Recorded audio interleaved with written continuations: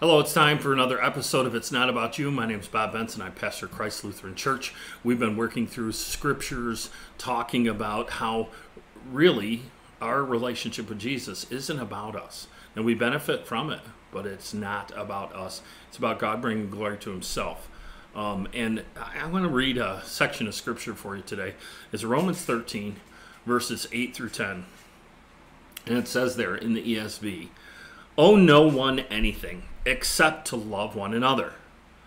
For the one who loves another has fulfilled the law. For the commandments say, You shall not commit adultery, you shall not murder, you shall not steal, you shall not covet, and any other commandment are summed up in this word You shall love your neighbors as yourself. Love does no wrong to a neighbor. Therefore, love is the fulfilling of the law. We've got to get to the point where we become selfless as we fill uh, our call to love people around us. The first and greatest commandment, and when Jesus was asked about it, he says to love the Lord your God with all your heart, with all your mind, with all your soul, and with all your strength. And the second is like it, comes alongside, is equal to it, to love your neighbor as yourself. And that's really what we're called to do.